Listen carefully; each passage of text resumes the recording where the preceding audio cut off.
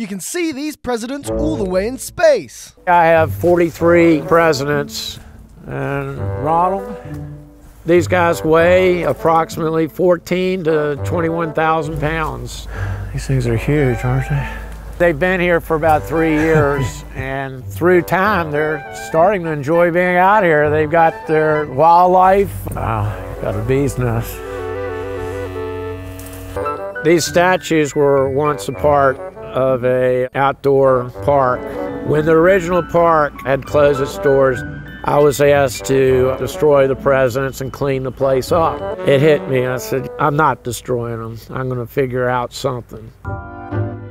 They mean a lot to me. I want to bring them back to a museum where they can be enjoyed by everybody.